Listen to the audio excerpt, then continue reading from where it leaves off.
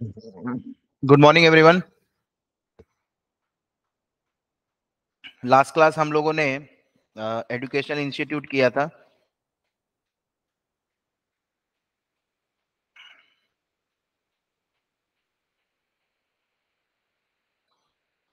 तो उसका कॉस्ट हमने ऑलरेडी बना लिया है। नंबर ऑफ़ टीचर्स के बेसिस पे टीचर सैलरी आ गया। खाली हमको हायर सेकेंडरी का करना है प्राइमरी और सेकेंडरी uh, का नहीं करना है। एंड टीचर सैलरी में भी रीअपोर्शनमेंट था कोई टीचर अगर दूसरे डिपार्टमेंट में ज़्यादा काम कर रहा है तो उसका वहाँ से निकाल के उधर डाल देंगे। Principal salary on the basis of time taken library में लाइब्रेरी का आवर्स दे दिया है। लैब अटेंडेंट सॉरी लाइब्रेरी का भी सम बेसिस वाज मेंशनड कितना बच, कितना आवर्स बच्चा लोग लाइब्रेरी में स्पेंड किया है। पियोन का पहले एचएस सेक्शन का पियोन सैलरी निकाला गया है उसके बाद फिर उसको नंबर ऑफ़ स्टूडेंट्स के बेसिस पे डिवाइड कर दिया गया है। अदर स्टाफ सैलरी भी वही हुआ है admin annual sports examination it depends upon number of students taking examination so दो इंटू नंबर ऑफ़ स्टूडेंट्स किया हमने तो टोटल नंबर ऑफ़ एग्जामिनेशन आ गया, उस हिसाब से फिर हमने एलोकेट किया है। अभी हमको क्वेश्चन में तीन चीज़ पूछा है, तीनों का आंसर हम लोग करेंगे step by step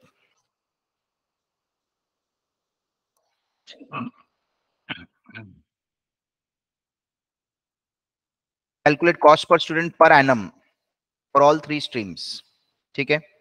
सो हमारे पास ऑलरेडी टोटल कॉस्ट है।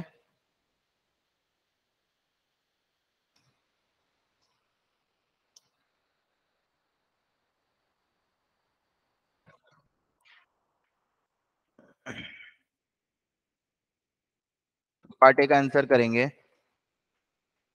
Arts commerce science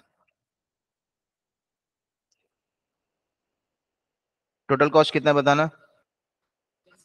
हम्म। ट्वेंटी हाँ। हाँ। साइंस का? तुम तो सेवन सिक्सटी? फोर। टोटल से मतलब नहीं अपने को। नंबर ऑफ़ स्टूडेंट्स कितना हर स्ट्रीम में? हम्म। हम्म। हम्म। सो इजीली हम लोग को आ जाएगा कॉस्ट पर स्टूडेंट डिवाइड करो। Total cost divided by number of students seventeen thousand three? पूरा approx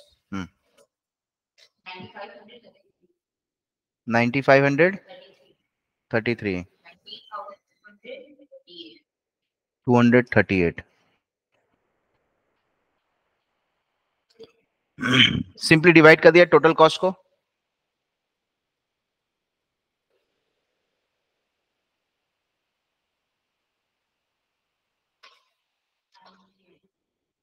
पार्ट बी में क्या बोला है? मैनेजमेंट अगर हज़ार रुपए सबसे लेगा, मंथली तो साल का बारह हज़ार हो गया हर बच्चे से।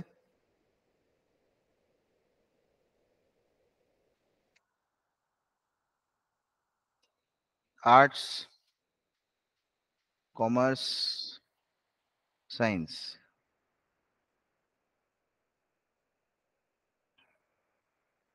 Number of students कितना है?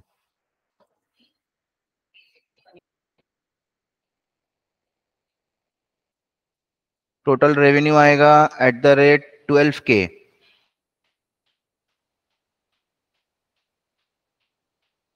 Twelve K के हिसाब से रेवेन्यू कितना है?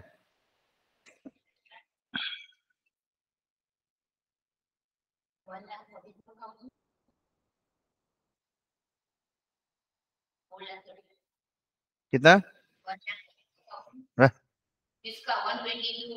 चौदह लाख चालीस हज़ार आएगा।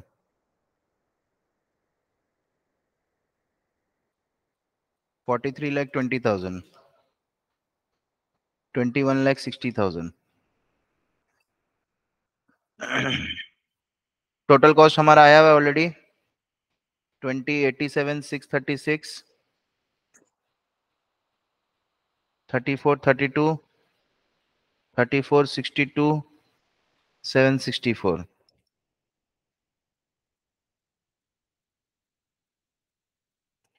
profit आएगा two minus three total revenue minus cost इसमें तो लॉस आएगा। कितना आ रहा है?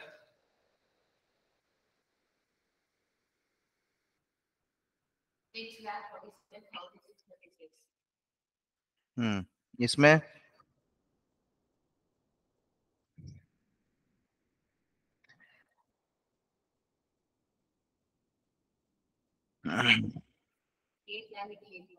eight lakh eighty eight thousand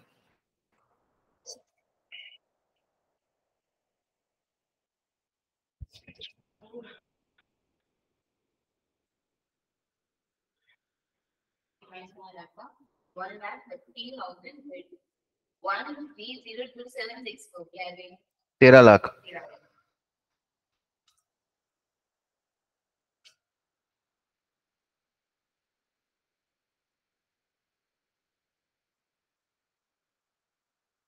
बारह हज़ार करके हर बच्चे का रेवेन्यू है। नंबर ऑफ़ स्टूडेंट से मल्टीप्लाई किया टोटल रेवेन्यू आ गया। टोटल कॉस्ट ऑलरेडी हमारा निकाला हुआ है तो हमारा प्रॉफिट आ जाएगा।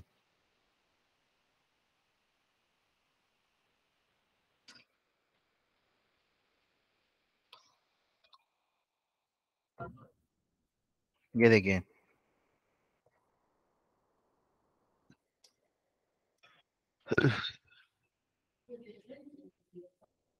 ये वाला हमारा मैच कर गया।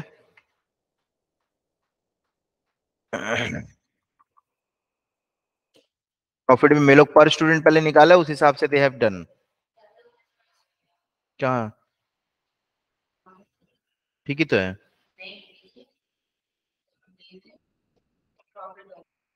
हाँ सिक्स फोर्टी सेवन ठीक ही तो है।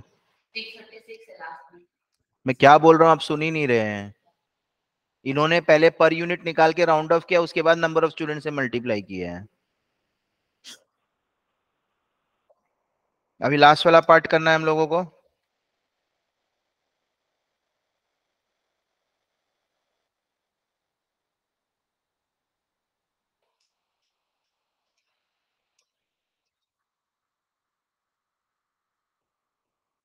सबसे पहले total cost twenty eighty seven six thirty six thirty four, thirty two.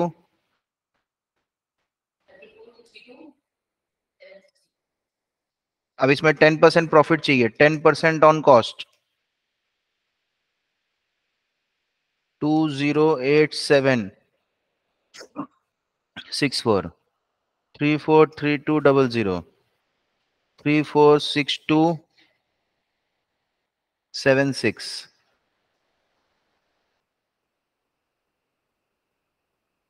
तो ये हमारा टोटल रेवेन्यू आएगा। फिर आएगा रेवेन्यू पर स्टूडेंट इसको जो भी आएगा उसको डिवाइड करेंगे 120 से इधर डिवाइड होगा 360 से। हम्म इसका टोटल करो।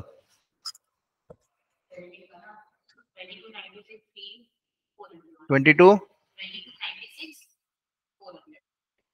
हाँ।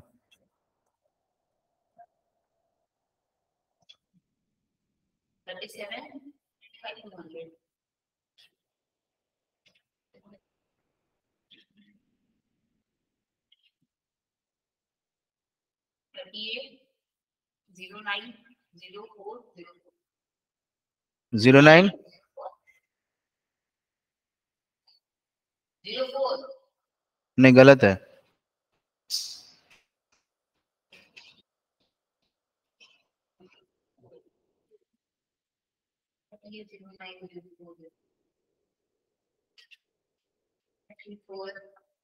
फोर एंड सिक्स तो लास्ट में तो ज़ीरो आएगा।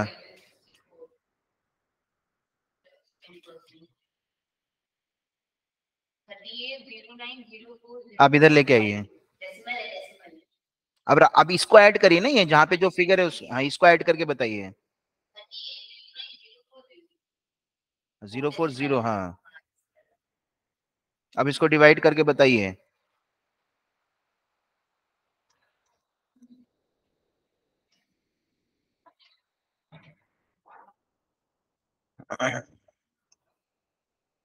रेवेन्यू पर स्टूडेंट कितना आ रहा है? मतलब एक स्टूडेंट से इतना पैसा लेंगे।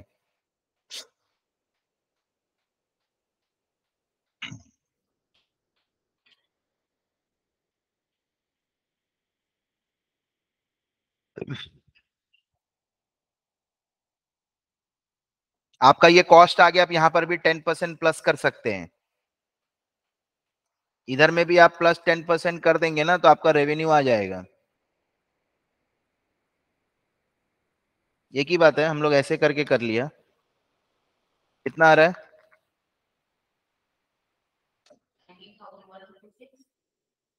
Nineteen thousand one one thirty seven हाँ।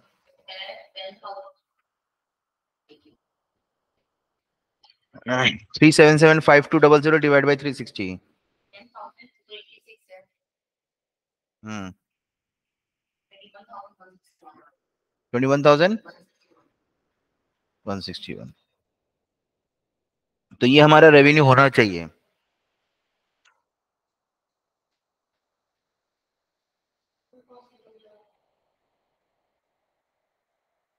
ये सब तो बेसिक चीज़ें हैं, इसमें ज़्यादा डिफिकल्टी कुछ है नहीं, देखिए। इन्होंने कॉस्ट पर स्टूडेंट जो आया, उसी में टेन परसेंट ऐड कर दिया। हम लोग एक ही बात है टोटल कॉस्ट में पहले ऐड टेन परसेंट क्या रेवेन्यू है उसको डिवाइड बाई नंबर एक ही बात है।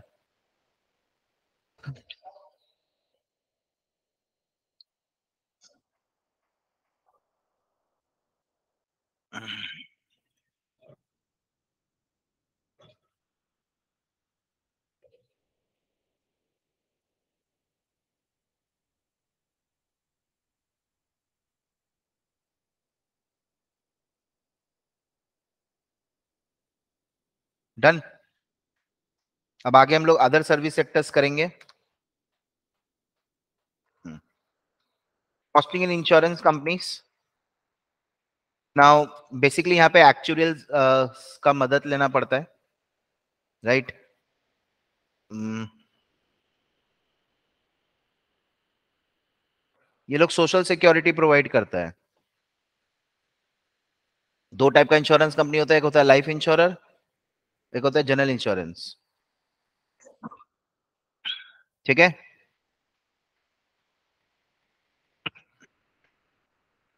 लाइफ इंश्योरेंस में क्या होता है? आप प्रीमियम देते हैं और आपको मेचोरिटी में पूरा पैसा मिलता है। अगर आपका कोई अनसर्टेनिटी होता है। बहुत सारा लाइफ इंश्योरेंस विद बेनिफिट भी होता है। इसे लाइफ पॉलिसी देखो विथ और विदाउट मेचोरिटी बेनिफिट होता है। एक होता है टर्म इंश्योरेंस और एक होता है एंडोमेंट प्लान ये आपका विदाउट मेच्योरिटी बेनिफिट होता है। आजकल काफ़ी सारा टर्म इंश्योरेंस में रिटर्न ऑफ़ प्रीमियम भी आ गया है। और ये वाला विथ मेच्योरिटी बेनिफिट है। डेथ बेनिफिट तो है ही, साथ में मेच्योरिटी बेनिफिट भी है। जो जनरल इंश्योरेंस है, उसमें हम लोग सामने वाले को up to the amount of policy value उतना लॉस हम लोग रीइंबर्स करते हैं उसका। जैसे कार इंश्योरेंस है। कार डैमेज हो गया एक्सीडेंट में। तो जितना भी उसको बनवाने में लगेगा, उतना खर्चा इंश्योरेंस कंपनी देगी। अलग अलग टाइप का इंश्योरेंस होता है बम्पर टू बम्पर होता है ज़ीरो डिप्रिशिएशन होता है ट्वेंटी परसेंट तो उस हिसाब से अलग अलग टाइप का पॉलिसी का अलग अलग प्रीमियम होता है।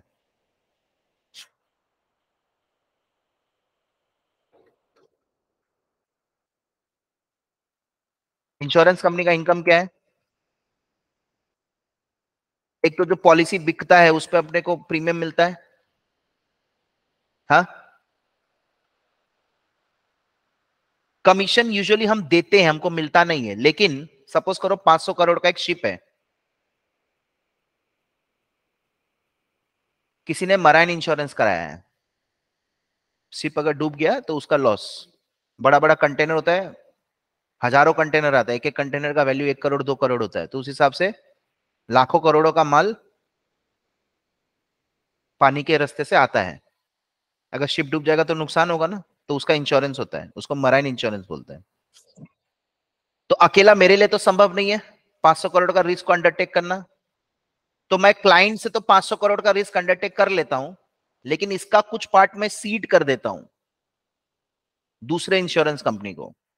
Ceded to another insurance company तो मैंने 500 करोड़ का, मान लो तुमसे 100 करोड़ का प्रीमियम लिया।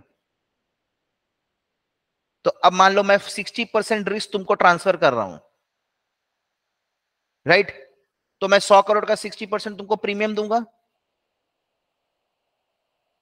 इसको बोलते premium on reinsurance ceded तो तुम बदले में मेरे को क्या दोगे? कमीशन दोगे। इंश्योरेंस कंपनी डायरेक्टली आके अपना सामान नहीं बेचती एजेंट्स होते हैं। एक बंदा है जिसने ये धंधा मेरे को लाके दिया इंश्योरेंस का धंधा लाके दिया। वो मेरे को सौ करोड़ रुपया लाके दिया। मैंने इसको कमीशन दे दिया। तो यहाँ कमीशन जो मैंने दिया मेरे लिए खर्चा है। हाँ? और प्रीमियम जो है मेरा इनकम है। लेकिन अगर मैं री इंश्योरेंस सीट कर देता हूँ तो मैं प्रीमियम दूँगा सामने वाले को तो वो मेरे को अब कमीशन देगा।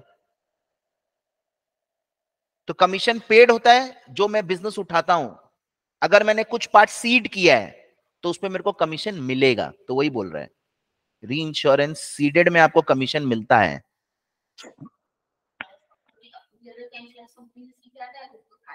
उससे क्या मतलब है? जो तैयार है उसे करवाएगा। तुमसे छोटा है, बड़ा उसे क्या लेना देना है? वो समझेगा, तुमको से क्या मतलब है? इंश्योरेंस कंपनी अपना इंश्योरेंस क्यों कराएगा? वो तो होता ही इसीलिए होता है। वो अपना रिस्क को किसी और को ट्रांसफ़र कर सकता है। उसी को बोलते हैं री इंश्योरेंस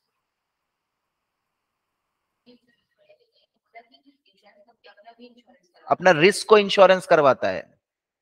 आज पूरा 500 करोड़ का शिप अगर डूब जाएगा तो मेरा क्षमता नहीं है देने का। तो मैं इसका एक सर्टेन पार्ट सीट करूँगा किसी और अनदर इंश्योरेंस कंपनी को। अनदर इंश्योरेंस कंपनी हाँ इंश्योरेंस कंपनी अपना एसेट्स का, उसका इंश्योरेंस करा सकता है। हाँ तो ये ये 500 करोड़ का शिप है मराइन इंश्योरेंस मैंने उठाया है धंधा। धंधा मैंने उठाया, मेरे, मेरा एजेंट धंधा लेके आया। अब मैं 500 करोड़ का रिस्क अगर अकेले अंडरटेक करूँगा, कल को शिप डूब जाएगा तो मेरे को पूरा नुकसान बियर करना पड़ेगा ना। तो मैं क्या करता हूँ, इसका कुछ पार्ट मैं सीड कर देता हूँ सर्टेन पार्ट मैं सीड कर दूँगा। उसको बोलते हैं री इंश्योरेंस सीडेड तो यहाँ मैं प्रीमियम दूँगा। यहाँ तो मैं प्रीमियम दूँगा ना तो मेरा नेट इनकम क्या हुआ? सौ करोड़ जो प्रीमियम आया और सीडेड पे जो मैंने प्रीमियम दिया, कमीशन मेरा एक्सपेंस है। तो नेट कमीशन एक्सपेंस क्या हुआ? जितना कमीशन मैंने दिया और सीडेड में जितना मेरे को मिला तो जब आप इंश्योरेंस कंपनी का काउंटिंग करेंगे ना तो ये लोग नेट कंसीडर करता है। बट यहाँ पे कॉस्टिंग पॉइंट ऑफ़ व्यू से जो दिया, उसको अलग से एक्सपेंस दिखा रहा है। जो मिला, उसको अलग से, वो लोग नेट नहीं कर रहा है। Actually reinsurance ceded direct business से नेट हो जाना चाहिए। ये इसको हम डायरेक्ट बिज़नेस बोलते हैं। क्या बोलते हैं? जो मेरे को डायरेक्टली मिला है बिज़नेस अब इसमें से मैं कुछ सीड कर रहा हूँ। तो हिसाब से मेरा नेट इनकम आना चाहिए। बट ये लोग क्या कर रहे हैं? इसको अलग से इनकम दिखा रहे हैं, इसको अलग से खर्चा दिखा रहा है। बट ऐसे अकाउंटिंग ऐसे नहीं होती है। जब आप इंश्योरेंस कंपनी का अकाउंटिंग पहले था आपके इंटरमीडिएट सिलेबस में, अब नहीं है। अगर आप इंश्योरेंस कंपनी का अकाउंटिंग करेंगे तो आपको समझ में आएगा। अभी भी ग्रुप टू में खाली बैंकिंग कंपनी है, उसको भी अब हटा दिया वो लोग। राइट? तो कमीशन मिलता है आपको, जो भी इंश्योरेंस आप सीट करेंगे किसी को तो उस पर आपको कमीशन मिलेगा। कई बार आप अपना फंड्स को बाहर इन्वेस्ट करते हैं। आज प्रीमियम आया, मैं तो उसको घर पे रखूँगा नहीं, क्योंकि कल को अगर क्लेम देना पड़ेगा तो क्लेम ज़्यादा अमाउंट का देना पड़ेगा। तो टाइम बिंग इंश्योरेंस कंपनी भी इन्वेस्टमेंट करती है तो उस पर इनकम वगैरह मिलता है। राइट? तो ये तीन टाइप का इनकम हो गया। अब मैं अगर एक्सपेंडिचर की बात करूँगा तो सबसे पहले मैंने कमीशन दिया है एजेंट्स को। क्लेम सेटल होगा, अगर कल को शिप डूब गया तो मेरे को क्लेम पे करना पड़ेगा। अच्छा यहाँ पे मैं क्लेम पे करूँगा, फिर क्लेम मेरे को मिलेगा भी ना। जो पार्ट मैंने सीड किया था, उसका क्लेम मेरे को मिलेगा भी राइट ये देखो, और premium on reinsurance ceded वाला। मैंने बोला ना, इसको अलग से इनकम दिखा रहा है ये लोग, और इसको अलग से एक्सपेंस दिखा रहा है। तो टेक्निकली स्पीकिंग ये मेरा क्या हो गया? ये मेरा इनकम हो गया, ये मेरा एक्सपेंस हो गया, ये जो कमीशन हमको वापस मिल रहा है, ये मेरा इनकम हो गया और जो मैं कमीशन दे रहा हूँ एक्सपेंस हो गया। तो अलग अलग लेकिन अकाउंटिंग करते वक्त इन दोनों को नेट करेंगे और इन दोनों को नेट करेंगे।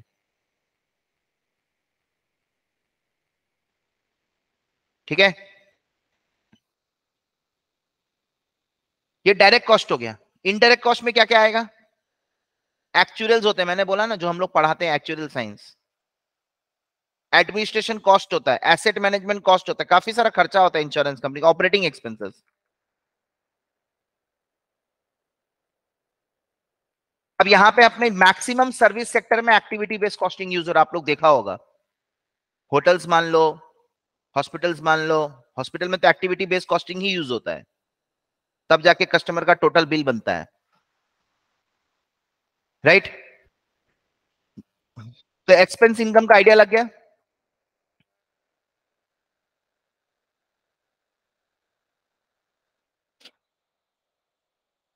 Activity based costing in insurance company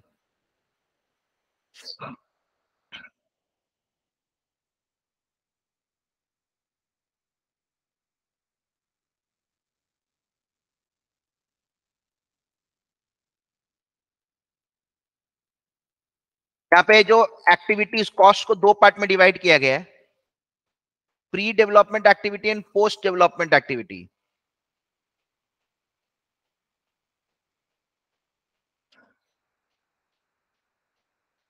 pre में जनरली मार्केट रिसर्च होगा राइट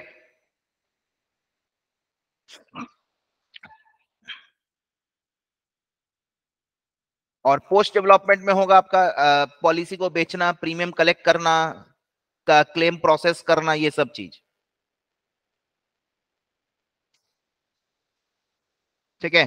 अभी आप पढ़िए, आपको समझ में आएगा।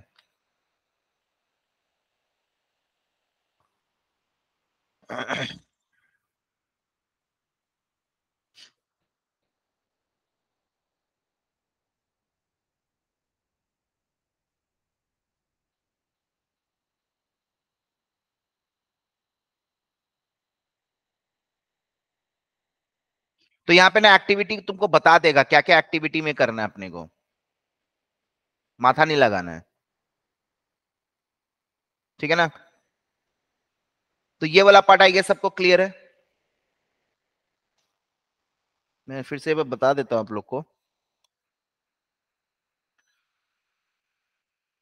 ये इंश्योरेंस कंपनी है।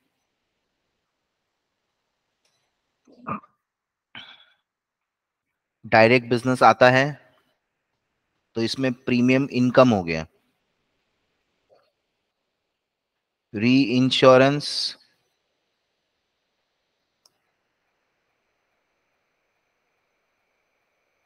सीडेड इसमें हम लोग प्रीमियम पे करते हैं। दूसरी कंपनी भी हमको री इंश्योरेंस दे सकती है तो इसको बोलते हैं हम लोग री इंश्योरेंस एक्सेप्टेड तो ये हमारा प्रीमियम इनकम हो गया। ठीक है? अब इस पे हम कमीशन पे करेंगे। इस पे भी हम कमीशन पे करेंगे। जहाँ जहाँ प्रीमियम मिलेगा, वहाँ कमीशन देना पड़ेगा। और इसमें हमको कमीशन रिसीव्ड क्लेम्स देना पड़ेगा, कल को होगा तो। इधर भी क्लेम्स देना पड़ेगा, और इधर क्लेम्स लेके देंगे।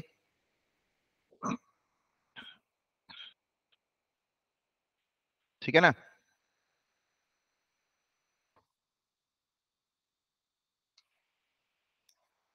अब बोल रहा है, यहाँ पे कॉस्टिंग करने के लिए हम लोग एक्टिविटी बेस्ड कॉस्टिंग यूज़ करेंगे। ठीक है? कौन से पॉलिसी में, किस कैटेगरी के पॉलिसी में फायर में मराइन में कमाई हुआ है कि लॉस हुआ है? राइट देखो यहाँ पे लिखा है cost benefit analysis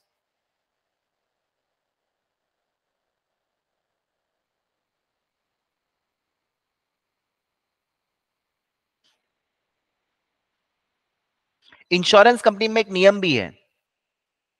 95 परसेंट जो भी इंश्योरेंस कंपनी कमाती है ना, वो पॉलिसी होल्डर में बटता है। ये जो लाइफ इंश्योरेंस के केस में मैंने बोला ना विथ बेनिफिट्स तो कितना बेनिफिट्स मिलेगा? कोई फिक्स नहीं होता।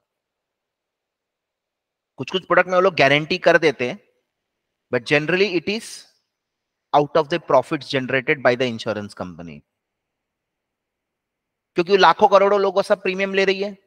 क्लेम कितने लोगों को देना पड़ता है? कुछ लोगों को, सबको नहीं देना पड़ता राइट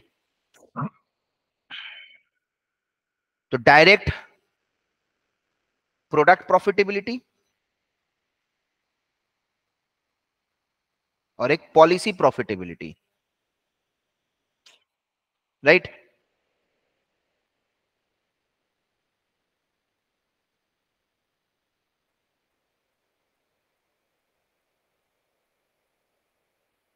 काफ़ी सारे कॉस्ट ड्राइवर्स होते हैं अलग अलग एक्टिविटीज़ हैं।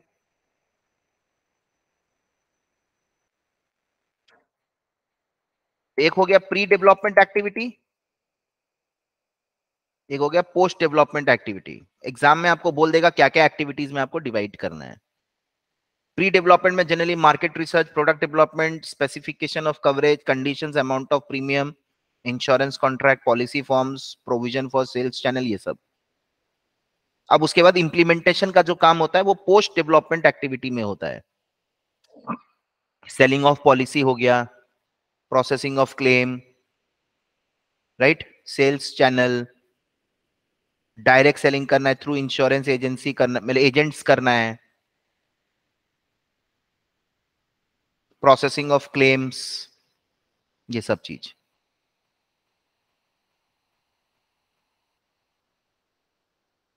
ठीक है? आइए। एक लाइफ केयर लिमिटेड है जो लाइफ इंश्योरेंस बिज़नेस कर रही है। ठीक है?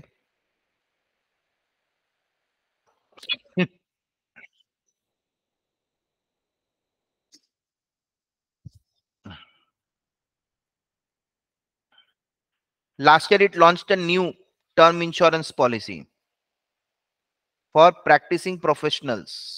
नाम है प्रोफेशनल प्रोटेक्शन प्लस ये सब कंपनी ने खर्चा किया है policy development cost cost of marketing of the policy sales support policy issuance cost policy servicing cost claim management cost IT cost जो पॉलिसी डॉक्यूमेंट होता है, वो क्लाइंट लोग के घर में कोरियर करना पड़ता है postage and logistic facilities cost employees cost office administration cost हो गया one two three four five six seven eight nine ten eleven हमने फाइव ट्वेंटी एट पॉलिसीज़ बेचा है। Right how many policies I have sold five twenty eight policies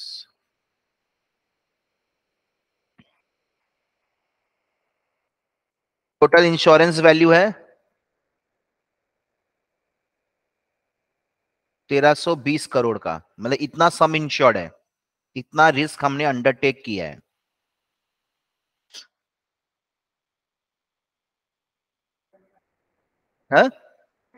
insurance नहीं बोला है।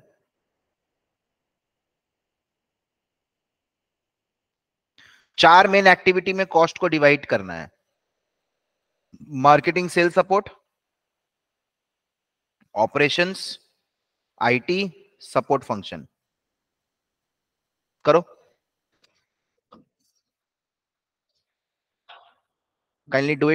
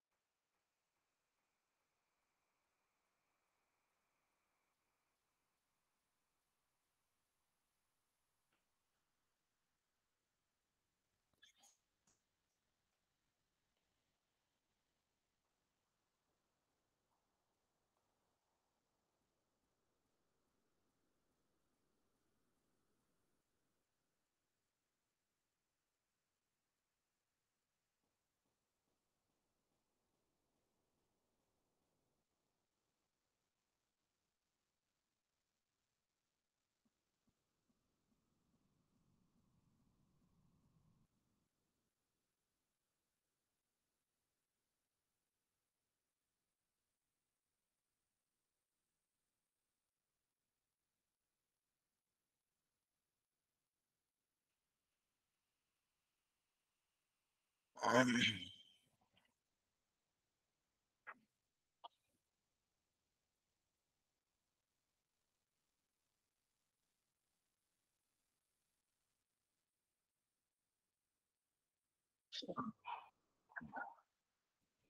आइए। Marketing and sales support operations IT support function.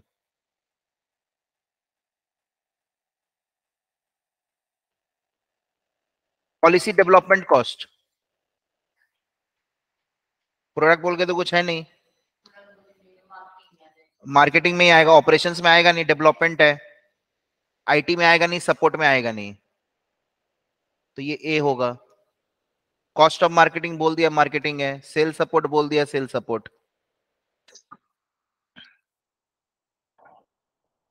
policy issuing cost operation से related हो गया ये? है ना? पॉलिसी सर्विस भी ऑपरेशन से रिलेटेड हो गया। क्लेम भी ऑपरेशन से रिलेटेड हो गया। आईटी अलग से आईटी दिया हुआ है ये सपोर्ट सर्विस हो गया, पॉलिसी डॉक्यूमेंट भेजना है। हाँ सपोर्ट कर रहे हैं ना वो लोग।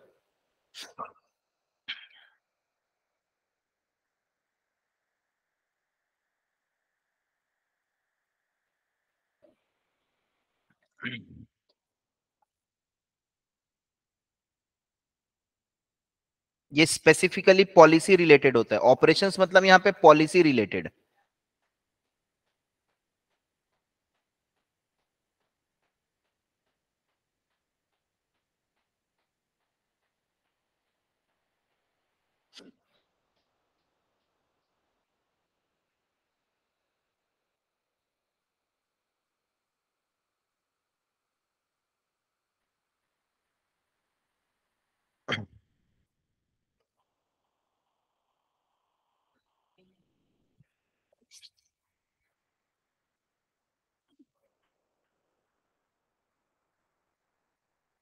ठीक है? अब जो भी टोटल कॉस्ट आएगा, उसको नंबर ऑफ़ पॉलिसी से डिवाइड कर देंगे तो कॉस्ट पर पॉलिसी आ जाएगा। पहले तो सेग्रीगेट कर दिया। अब निकालना तो अपने को टोटल ही है। और जो भी टोटल कॉस्ट आएगा, उसको 1320 करोड़ से डिवाइड कर देंगे तो पर सम इन शॉर्ट हमारा कॉस्ट आ जाएगा। इसको सॉल्व करने का कोई मतलब नहीं है। We can just see from the institute book itself there is nothing to solve in this the concepts are clear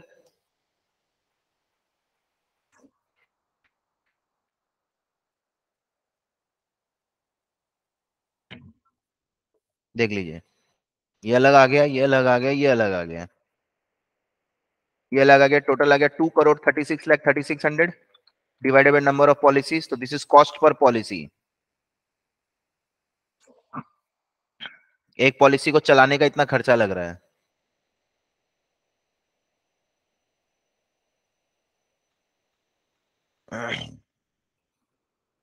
और 2.36 बाई इतना तो this is per rupee this is my cost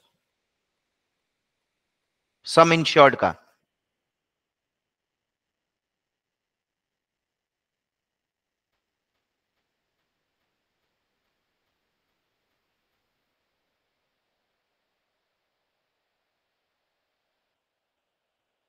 ठीक है?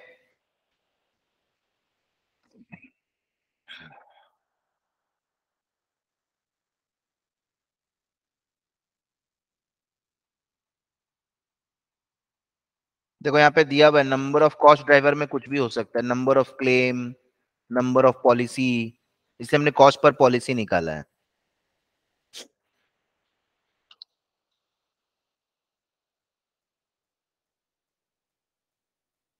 चलिए फाइनेंशियल इंस्टीट्यूशंस का बात करेंगे।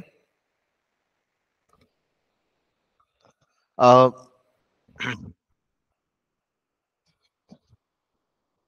ये लोग का काम ही है लोन देना। राइट मतलब बेसिकली बैंकिंग बिज़नेस हो गया।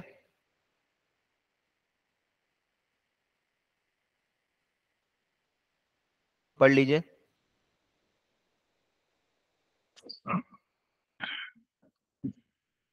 यहाँ पे मेन आपका मैन पावर कॉस्ट ही है। इंटरेस्ट कॉस्ट तो होता ही है फाइनेंस चार्ज वगैरह भी है।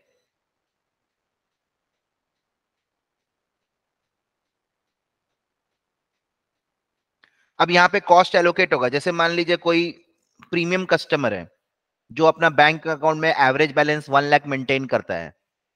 तो अगर कोई average balance one lakh maintain करेगा तो ज़ाहिर सी बात है उससे हम लोग डेबिट कार्ड ये सब का चार्ज नहीं लेंगे। आज करंट अकाउंट में हर चीज़ का चार्ज लिया जाता है। अगर मैं करंट अकाउंट की बात करूँ उसमें, क्योंकि उसमें हम लोग को, वो लोग फ्रीक्वेंटली पैसा डालता है फ्रीक्वेंटली निकाल लेता है। बैंक उसको यूज़ नहीं कर पाता। है banking money lending business right तो काफ़ी सारा कॉस्ट ड्राइवर्स होता है, जैसे एटीएम से विड्रॉ करते हैं तो बीस रुपए चार्ज करता है, चार चार के ऊपर जो भी अलग अलग बैंकिंग का अलग अलग नियम है।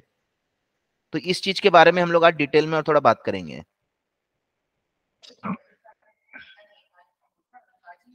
नहीं लेता, क्योंकि वो लोग का, वो लोग को मिनिमम बैलेंस एक लाख मेंटेन करना है। अब मिनिमम बैलेंस एक लाख मेंटेन करना है मतलब उतना बैलेंस वो लोग बैंक में रखेगा तो बैंक तो उसी से कमा लेगा। ठीक है ना?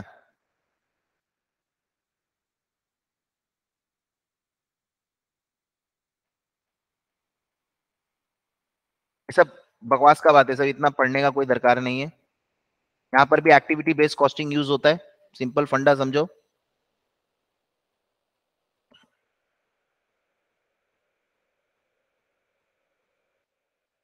Focus on high margin customers, concentrating on products that are more profitable इसलिए बैंक छोटा छोटा कस्टमर में माथा ही नहीं लगाता।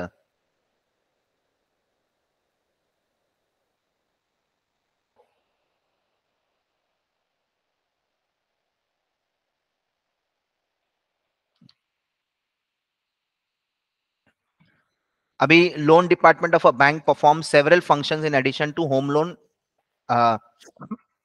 application processing task ठीक है?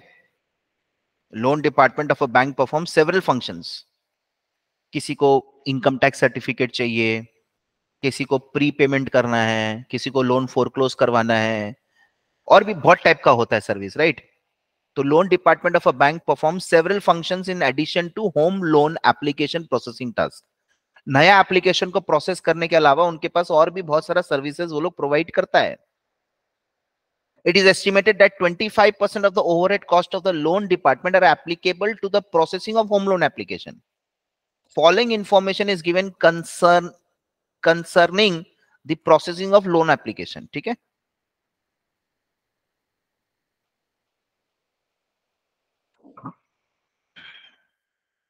लोन प्रोसेसर का मंथली सैलरी दो लाख चालीस हज़ार, चार एम्प्लॉय है। लोन डिपार्टमेंट को ओवरहेड कॉस्ट दे दिया। Chief loan officer salary, telephone expense, depreciation, जहाँ पे वो लोग अपना ऑफ़िस सेटअप करके रखा है।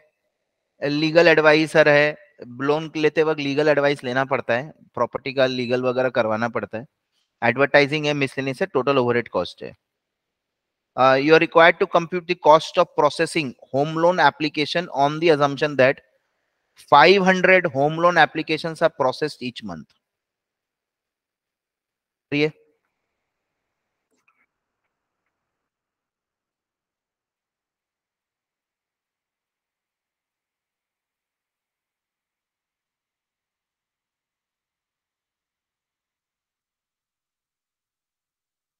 जब भी आप लोन लेने जाते हैं ना तो आपसे वो लोग प्रोसेसिंग फ़ीस लेता है मिनिमम प्रोसेसिंग फ़ीस लेता है।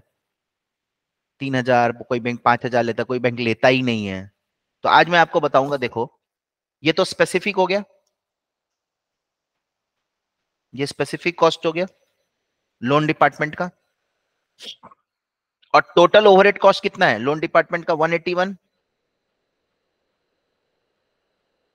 मैंने आईसीआईसी बैंक से लोन लिया। ठीक है? मैंने आईसीआईसीआई बैंक से लोन लिया ठीक है? वो लोग हमसे प्रोसेसिंग फ़ीस लिया, तीन हज़ार प्लस जीएसटी इसके बाद जब बहुत सारा अदर सर्विसेज़ लिया मैं अदर सर्विस क्या लिया मैं? मैं अपना टेन्योर चेंज करवाया, उसका वो लोग मेरे से हज़ार रुपया प्लस जीएसटी लिया। मैं अपना ईएमआई बीच में चेंज करवाया, उसका वापस से मेरे से वो लोग हज़ार रुपये प्लस जीएसटी लिया। मैं फोर क्लोजर लेटर मंगाया, उसका वो लोग मेरे से हज़ार रुपए प्लस जी मतलब काफ़ी सारा सर्विस का चार्जेस है। तो इसका मतलब लोन डिपार्टमेंट का जो खर्चा है,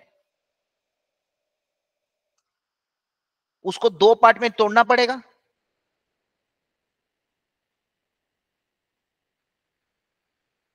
हाँ है ना? एक होगा home loan application related first time और एक है लोन लेने के बाद वाला सर्विस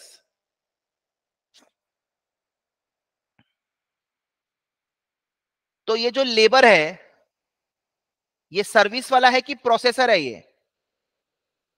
अभी हम लोग प्रोसेसिंग फ़ीस का बात कर रहे हैं। किसका बात हो रहा है अभी?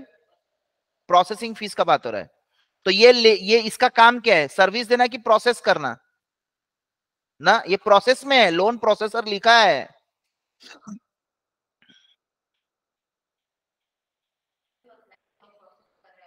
हाँ।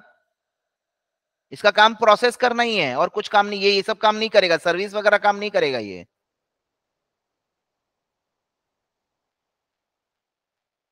यहाँ पे देखो सैलरी है ना, ये सब काम ये वाला आदमी करेगा। ये थोड़ा सा हाथ इधर भी बटाएगा, इसलिए बोला है क्वेश्चन में, ये जो टोटल ओवरहेड है, इसका 25 परसेंट उधर जाएगा।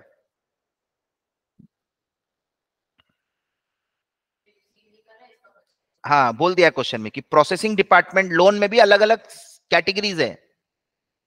Processing related 25 percent of overhead तो कितना है बताओ? 181 का 25 परसेंट करो, कितना होता है?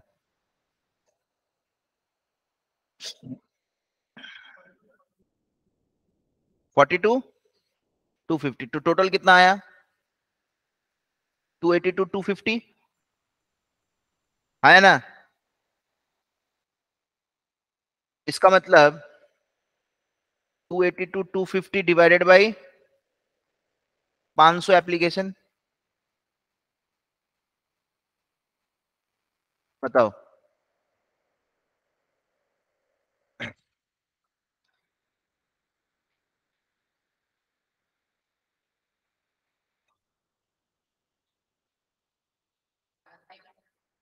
हाँ?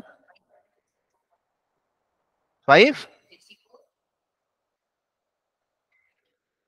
तुम ये गलत बताइए फोर्टी टू नहीं होगा ये। तुम ये गलत बोली हो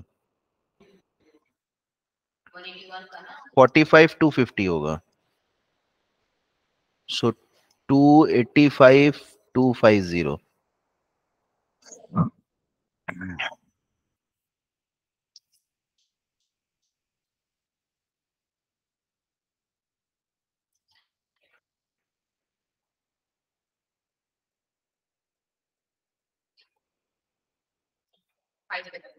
two eighty five two five zero divide by पाँच सौ कितना आ रहा है?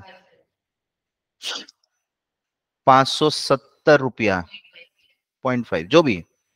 देखो, तीन हज़ार रुपया लेता है, इस चीज़ का वो लोग हमसे। तो बैंक का मार है ना?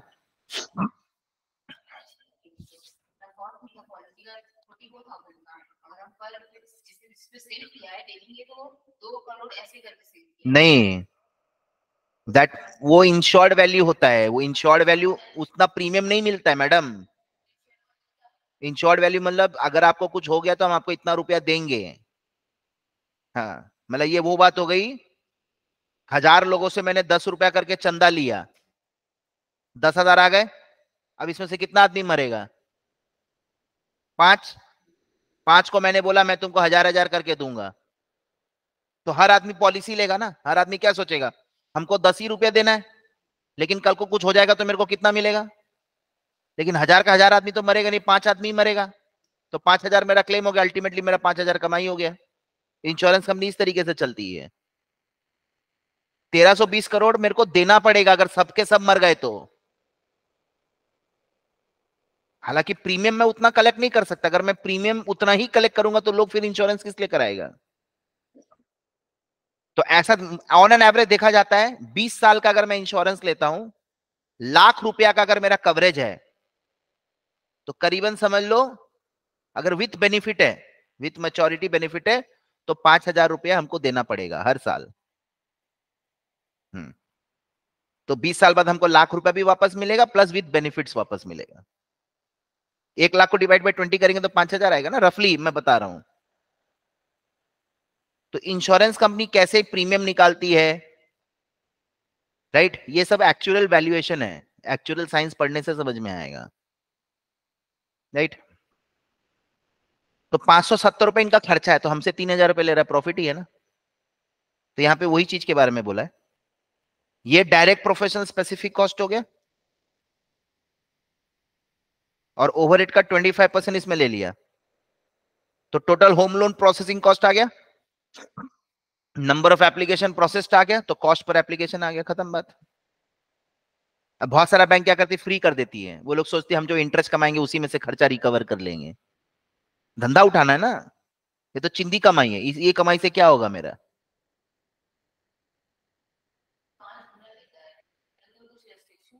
क्यों धंधा कर रहे हैं हम। कितना गुना ले रहा है, उससे तुमको मतलब नहीं होना चाहिए। कंपनी का मालिक का पॉलिसी पे डिपेंड करेगा क्या लेना है, नहीं लेना है। अगर हम इतना कुछ सोचने जाएँगे तो हो गया मेरा तो फिर। अदर सर्विसेज़ में कॉस्टिंग ऑफ़ पावर हाउस आपको मालूम है? ये जनरली इंटरनल के लिए होता है कैप्टिव कंजम्पशन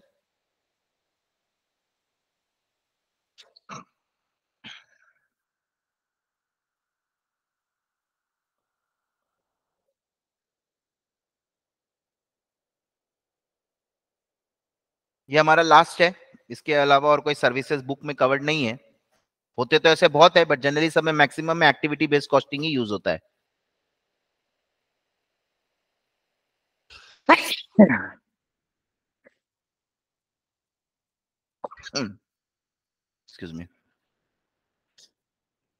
पावर हाउस का काम होता है, या तो इलेक्ट्रिसिटी जनरेट करेगा, या वो लोग स्टीम जनरेट करेगा।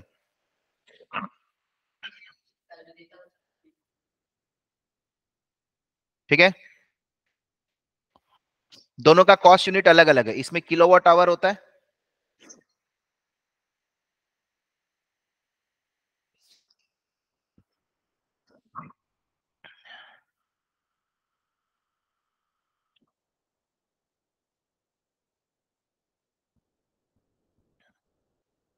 इसी को अपने यूनिट बोलेंगे। इसका कॉस्ट क्या क्या है? देखो फिक्स कॉस्ट देख लो। कितना भी आप स्टीम पावर जनरेट करो, उससे फ़र्क नहीं पड़ता, ये सब कॉस्ट फिक्स रहेगा। Rent insurance depreciation salary administrative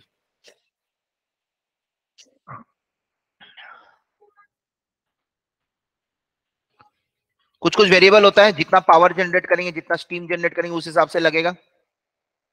fuel water charges अगर इनको प्रोडक्शन के बेसिस पे पैसा दे रहे हैं तो और any other variable cost identified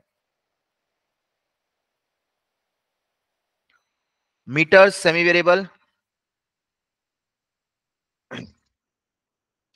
service ये सब टूल्स वगैरह। सीधा क्वेश्चन पढ़ो मतलब नहीं है अपन को।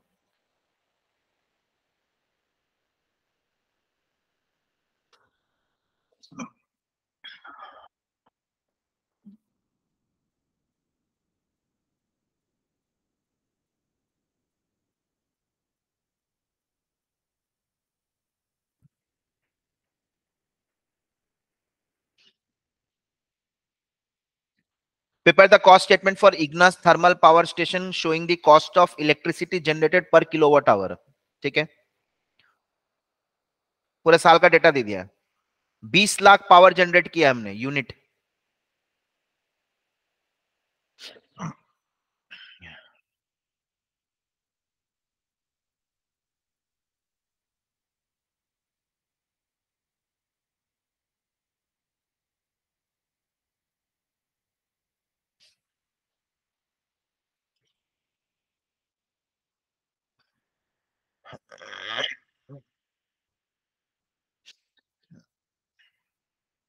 ऑपरेटिंग लेबर तो ये वेरिएबल कॉस्ट में आएगा।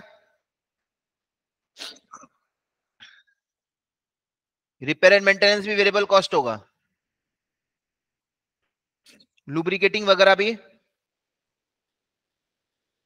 Variable cost. प्लांट सुपरविजन, बोलो। सुपरवाइजर सैलरी फिक्स्ड होता है। एडमिनिस्ट्रेटिव कॉस्ट भी फिक्स्ड होता है। कोल लग रहा है ये वेरिएबल कॉस्ट है? और डेप्रीशिएशन फिक्स कॉस्ट है। कोल निकालना है?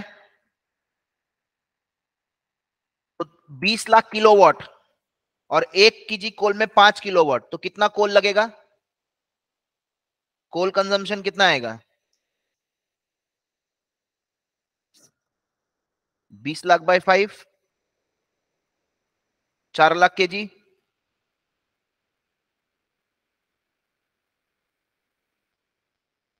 कोल कंजम्पशन चार लाख के जी आएगा ना? इलेक्ट्रिसिटी जनरेट करने के लिए कोल चाहिए। राइट? तो बोला पाँच किलोवाट ऑफ़ इलेक्ट्रिसिटी आएगा जिसमें एक के जी कोल लगेगा तो कितना कोल चाहिए? चार लाख कोल चाहिए into four point two five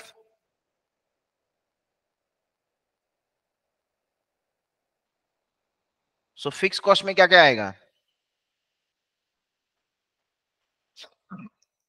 plant supervision आएगा। छह लाख। एडमिनिस्ट्रेटिव ओवरहेड आएगा। चालीस लाख। डेप्रीशिएशन आएगा। पाँच करोड़ का पाँच परसेंट। पच्चीस लाख। सेवेंटी वन लाख हो गया। वेरिएबल कॉस्ट में ऑपरेटिंग लेबर आएगा। तीस लाख। रिपेयर एंड मेंटेनेंस आएगा। दस लाख। लुब्रिकेंट्स आएगा।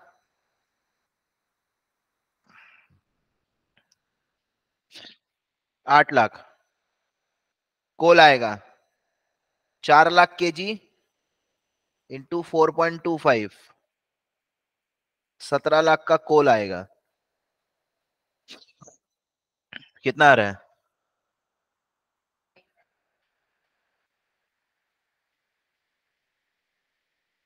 तो seventy one lakh plus sixty five lakh. Total cost कितना आया?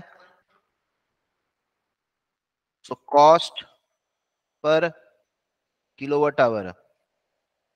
Seventy one lakh plus sixty five lakh by twenty lakh. कितना आ रहा है? हाँ? ये तेरह लाख साठ एक करोड़ छत्तीस लाख आएगा ये।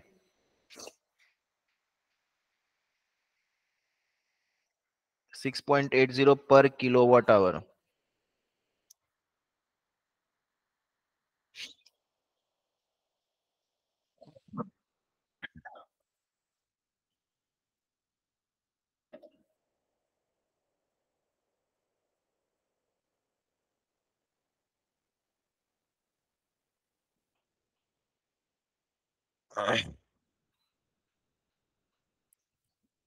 Is it fine, everyone?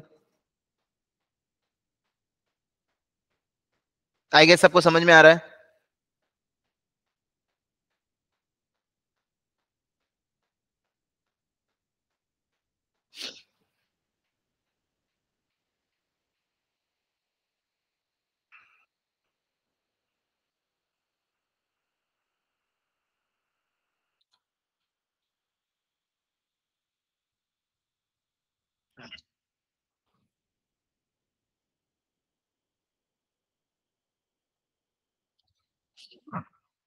देख लीजिए। फिक्स कॉस्ट का अलग से निकाला है लोग। पॉइंट एट आ गया हमारा।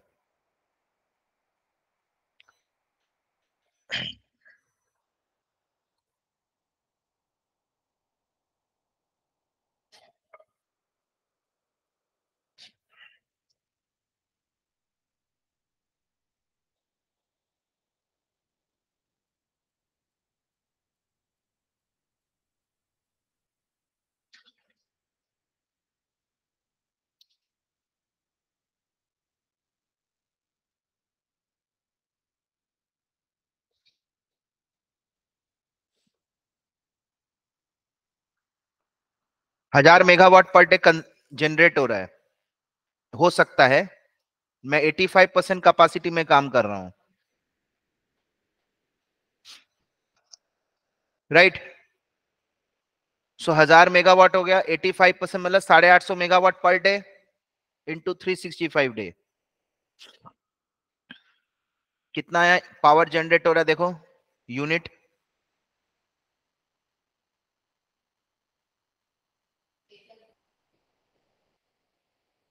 क्या कर रही हो? 850 पर डे जनरेट हो रहा है और 365 डेज़ तक जनरेट होगा। 31 ठीक से बोला करो ना, तीन लाख दस हज़ार कुछ बोलो ऐसे करके। हाँ।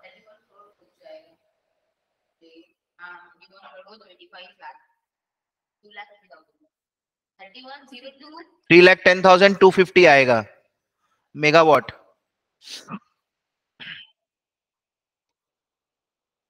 और इसको अगर किलोवाट आवर में कन्वर्ट करना है तो और हज़ार से मल्टीप्लाई करेंगे।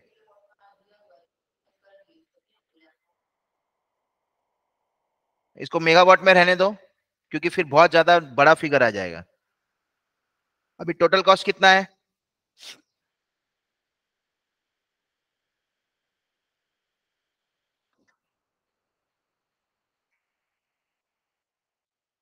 एट एट इतना लैक्स ठीक है? तो इसको भी लैक्स में कन्वर्ट करेंगे तो 3.1025 लाख मेगावाट तो कॉस्ट पर मेगावाट क्या आएगा? 8840 divided by 3.1025 lakh lakh cut गया।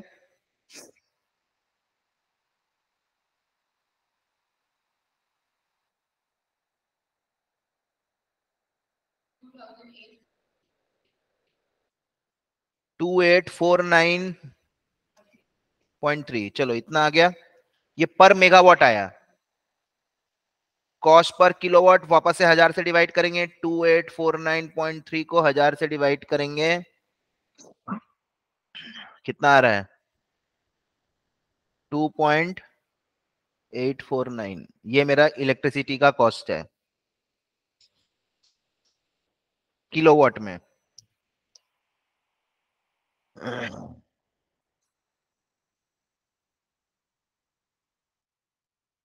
ये मेरा मेगावाट का आ गया, ये मेरा किलोवाट का आ गया।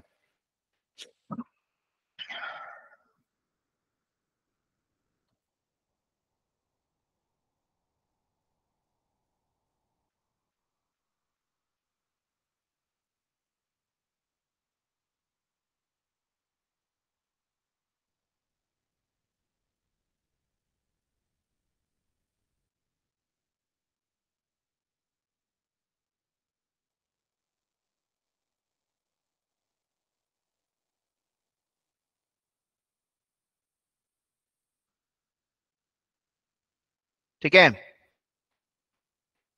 Now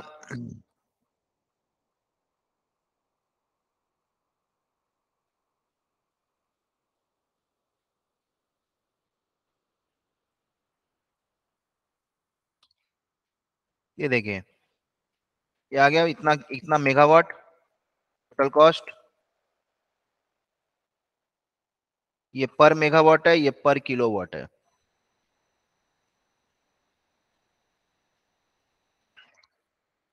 complete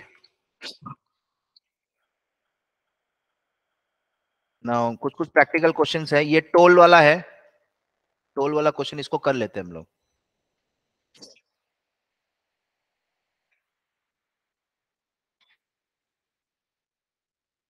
practice question one read करिए आप लोग।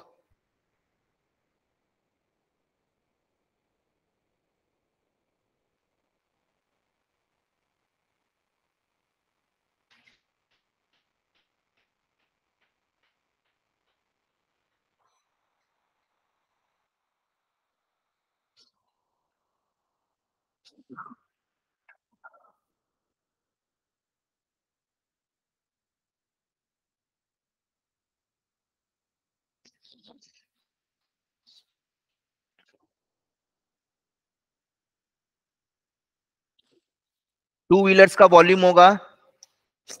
यहाँ पे अलग अलग टाइप का व्हीकल है। पर डे टू व्हीलर का ये वॉल्यूम है कार एसयूवीज का ये है बस एलसीवी और low commercial vehicle and heavy commercial vehicle छोटा ट्रक बड़ा truck this is small truck and this is big truck देखना टोल रेट में सबका रेट अलग अलग रहता है। अगेन अगर यहाँ पे रेट अलग अलग बोलेगा तो अपने वो यूज़ कर लेंगे। इक्विवेलेंट वाला। कॉस्ट ऑफ़ द प्रोजेक्ट दे दिया। अच्छा 110 किलोमीटर का लंबा हाईवे 25 साल तक बीओटी है। बिल्ड ऑपरेट ट्रांसफ़र 25 साल तक चलाओ, फिर गवर्नमेंट को दे दो। Following is the estimated cost of the project site clearance समझ गया ना? किसी का ज़मीन के बीच में आ गया। Land development and filling work सब बेस एंड बेस कोर्सेस ये सब उन लोग का टेक्निकल टर्म है। Bituminous work bridge flyover under जो बनाना पड़ता है। ड्रेनेज एंड प्रोजेक्शन वर्क सब लैक्स में है। Traffic sign marking route road maintenance repairing environmental management पेड़ वेड़ लगाना total project cost in lakhs आ गया। An estimated uh, cost of 1120 lakh has been has to be incurred on administration and toll plaza operation ये तो बनाने का खर्चा हो गया। दिस इज़ कैपिटल कॉस्ट कुछ कुछ मेंटेनेंस भी दिया हुआ है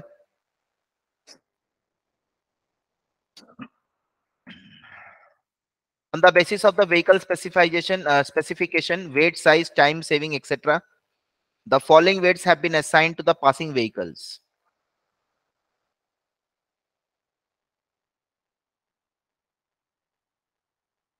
ठीक है सबको वेटेज दिया गया on the basis of vehicle specifications weight size time saving etcetera the following weights has been assigned to the passing vehicle two wheeler को पाँच परसेंट का वेटेज दिया गया है। कार एंड एसयूवीज को twenty percent bus and lower commercial vehicle को thirty percent and heavy को forty five percent पहले अपने को निकालना है। Total project cost per day of concession period मतलब बोट वाला period compute toll fee to be charge for per vehicle for each type if the company wants to earn 15% on total profit, ठीक है, कर लेंगे। करिए, फटाफट पढ़िए। Just read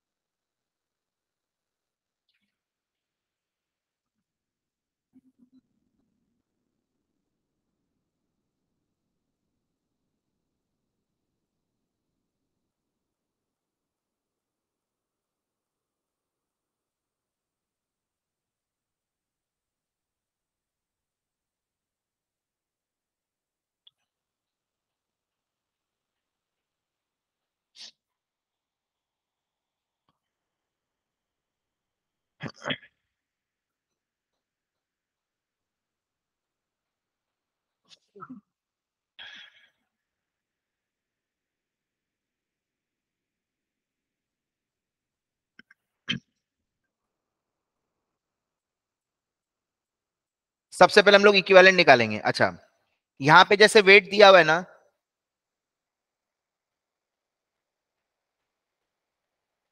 point zero five zero point two zero zero point three zero zero point four five अब मैं अगर इसका रेशियो निकालू वेट्स का तो फाइव कॉमन है सब में? वन फोर सिक्स नाइन इसका मतलब कार एंड एसयूवीज का चार गुना है टू व्हीलर से। मतलब अगर इसका दस रुपया है जस्ट मैं एग्ज़ाम्पल के तौर फॉर एग्ज़ाम्पल अगर इसका टोल रेट दस है, इसका चालीस है, इसका साठ है, इसका नब्बे है, समझ गया मेरा बात?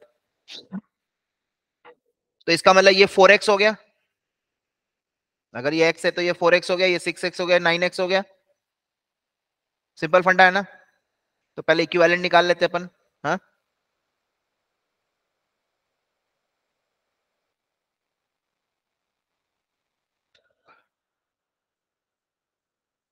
वेट्स अगर करेंगे one four six nine equivalent two wheelers. जो भी इक्विवेलेंट आएगा, टू व्हीलर ये पर डे आएगा।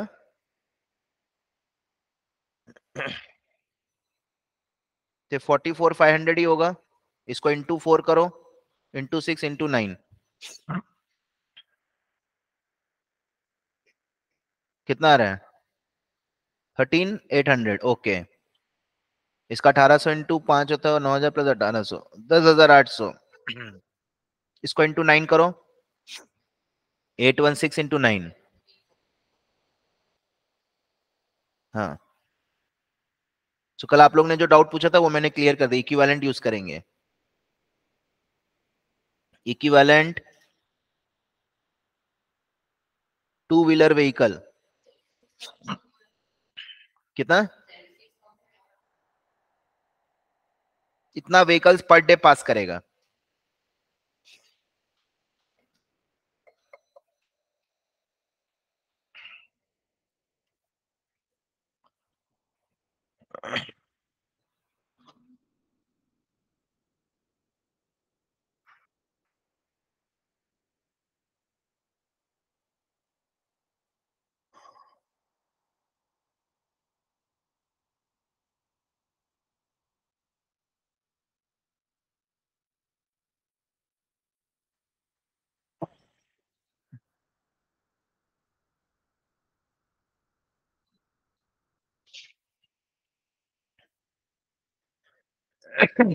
अच्छा।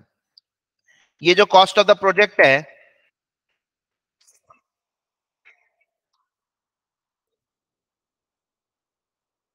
जो भी आप देख रहे हैं कॉस्ट ऑफ़ द प्रोजेक्ट ये 25 साल का है ना?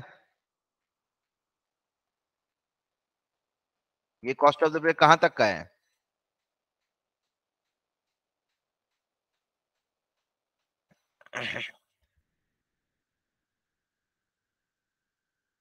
ये हमारा 25 साल का है। ठीक है?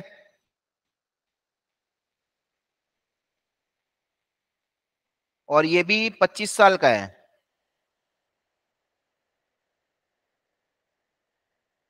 बोला है क्या पर एनम है? तो टोटल कॉस्ट कितना होगा? One one four four nine five point two five plus.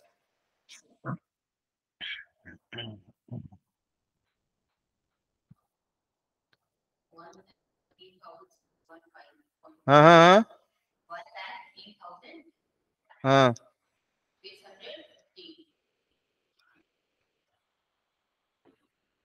तो ये हम 25 साल में रिकवर करेंगे? तो पहले पर ईयर निकालो। इसको डिवाइड बाय 25 करो।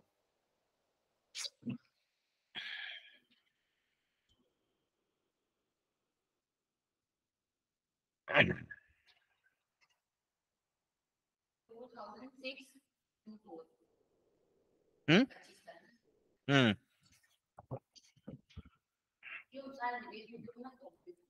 this is total cost for 25 years पहले पर ईयर निकालो।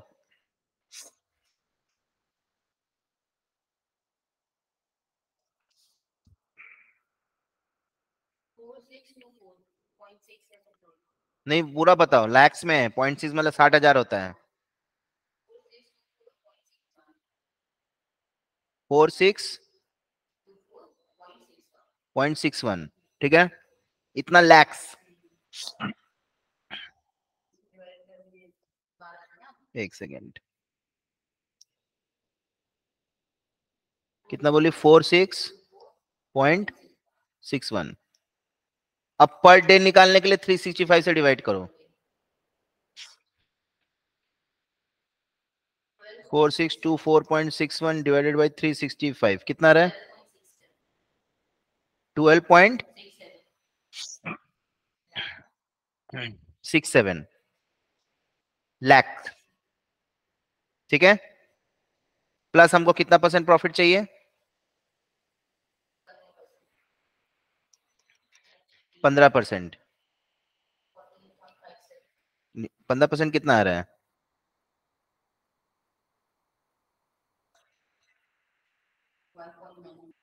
हाँ? One point nine zero add करो। Fourteen point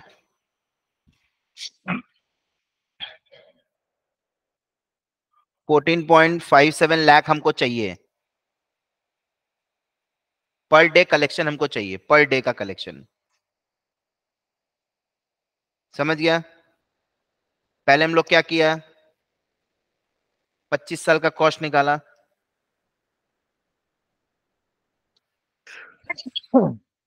पर ईयर निकाला। पर डे लैक्स में है ये। इतना लाख। ये भी लैक्स में है। अब चार्जेस क्या लगेगा?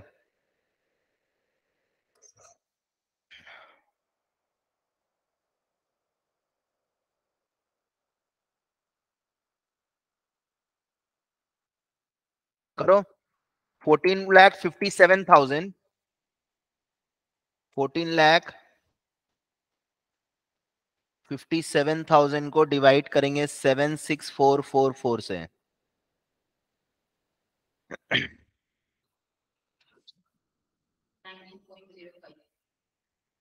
नाइनटीन पॉइंट ज़ीरो फाइव इसका फेयर हो गया। नाइनटीन पॉइंट ज़ीरो, उन्नीस रुपया, छह पैसा इसका फेयर हो गया। Right right? इसमें क्या होगा? इंटू फोर करो। Nineteen point zero six into four कितना? Seventy six point two four. Nineteen point zero six into six point? हाँ। Nineteen point zero six into nine point? Five four.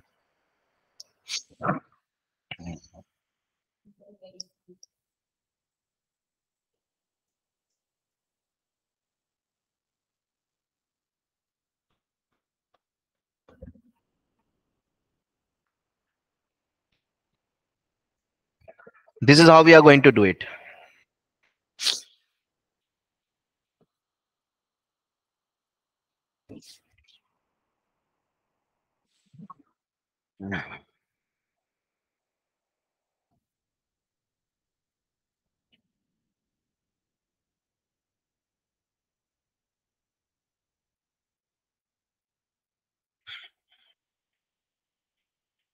Question में clearly बोल दिया है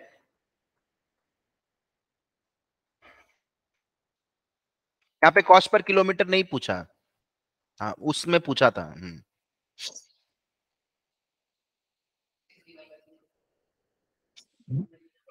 weights हम्म। दिया हुआ है इक्विवेलेंट आ गया सबका टू व्हीलर का व्हीकल्स में। कॉस्ट ऑफ़ द प्रोजेक्ट ये 25 साल का एडमिनिस्ट्रेशन भी 25 साल का दिया, दोनों को ऐड कर लिया। पर ईयर आ गया लैक्स में पर डे आ गया लैक्स में। प्रॉफिट मार्जिन ऐड करके टोटल रेवेन्यू इतना चाहिए हमको टोल प्लाजा से।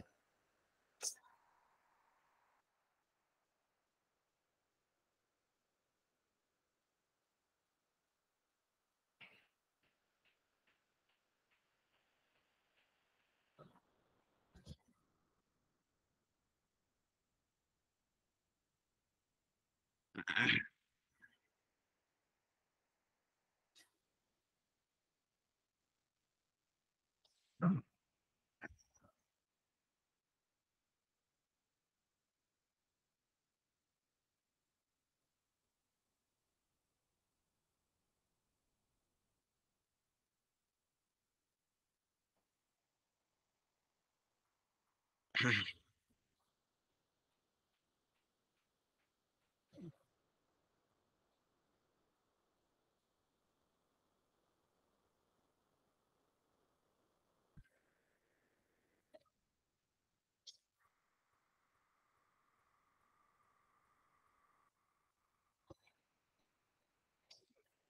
बाकी क्वेश्चन हमारा ट्रांसपोर्टेशन uh, का है that to be covered separately का सॉल्यूशन आप लोग देख सकते हैं। हम्म। सबसे पहले इन्होंने टोटल कॉस्ट निकाला है। एंड हम लोग ने दो बार अलग अलग डिवाइड किया। पर ईयर पर डे ये लोग टोटल करके टोटल डेज़ निकाल लिया 25 साल का। इनका 12.67 आ गया पर डे इन्होंने प्रॉफिट ऐड किया 14.57 76 हमारा वेटेड थाई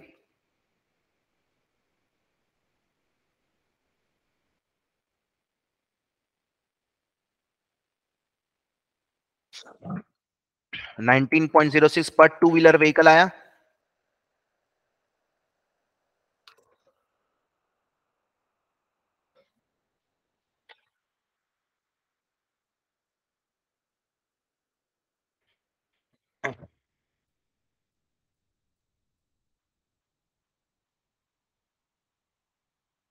वेट से असाइन करके निकाल लिए लोग।